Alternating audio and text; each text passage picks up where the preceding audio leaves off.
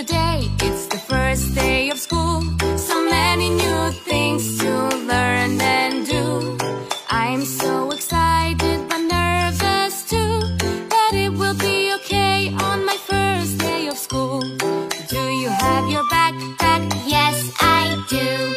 Do you have your shoes? Yes, I do. Do you have your lunch?